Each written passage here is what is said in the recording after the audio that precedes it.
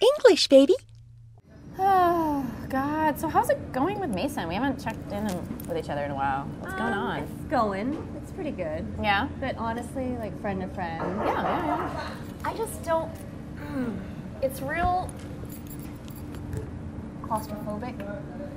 Um, not a lot of space. Really? I guess you could say. Interesting. And, I, Okay.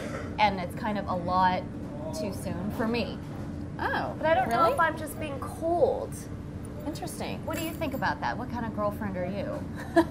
Well, considering I've seen my current boyfriend two days total ever, we're Two all days about space. in 48 hours, like like that, back to back.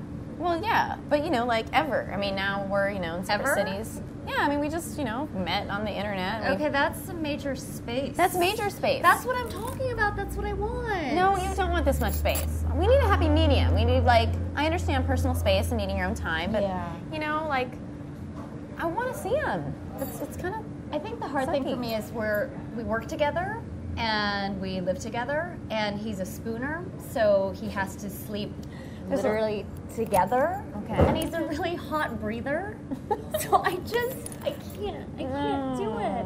And I- Wow. I know, and I don't want to hurt his feelings, but Yeah. but I kind of want to put this barricade of pillows in between us. Oh. And I don't know. That might hurt his feelings. I I know, I know it would, but that's what I want. Okay, I would definitely uh, broach the subject with him before.